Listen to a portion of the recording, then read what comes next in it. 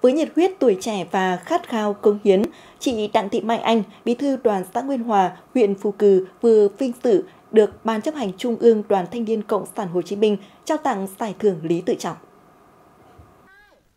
Điểm vui chơi cho thiếu nhi trường tiểu học Nguyên Hòa là công trình được chị Đặng Thị Mai Anh vận động xây dựng vừa được hoàn thành đầu năm 2022.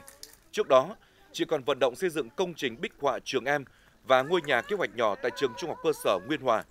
Các đoàn viên thanh niên mà có cái, cái xu hướng về quê để phát triển kinh tế thì ban chấp hành đoàn xã phối hợp với sở khoa học tổ chức tập huấn các lớp chuyển giao khoa học kỹ thuật. Năm 2021, chị Mai Anh có sáng kiến giải pháp nâng cao hiệu quả mô hình thanh niên phát triển kinh tế, trong đó tập trung vào các hoạt động đồng hành, hỗ trợ thanh niên về cơ chế chính sách, khoa học kỹ thuật, vốn, thông tin thị trường. Đến nay, xã Nguyên Hòa có 13 mô hình kinh tế do thanh niên làm chủ, được hỗ trợ và phát huy hiệu quả. Điển hình như mô hình nuôi cá kết hợp với nuôi ếch của anh Nguyễn Văn Huân ở thôn Thị Giang được xây dựng từ năm 2018 với diện tích 5 sào. Mỗi năm cho thu khoảng 25 tấn ếch và 30 tấn cá, trừ chi phí cho thu lãi 200 triệu đồng. Riêng đồng chí Mai Anh rất nhiệt tình, có mời ờ, các ờ, kỹ sư về tham quan mô hình rồi là